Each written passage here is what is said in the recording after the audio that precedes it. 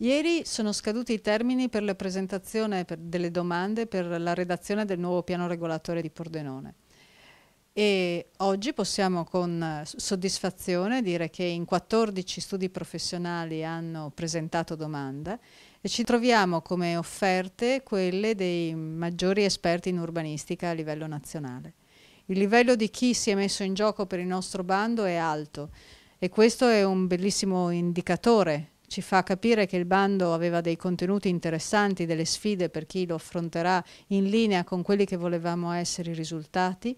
che è stato compreso, che è stata considerata anche congrua la cifra messa in gara e che quindi avremo la possibilità di produrre uno strumento interessante in linea con i tempi e con le esigenze del nostro territorio per il nostro futuro. È un risultato, è un primo passo, adesso la Commissione lavorerà per attribuire e valutare questi lavori e comunque sappiamo che gli occhi su Pordenone sono stati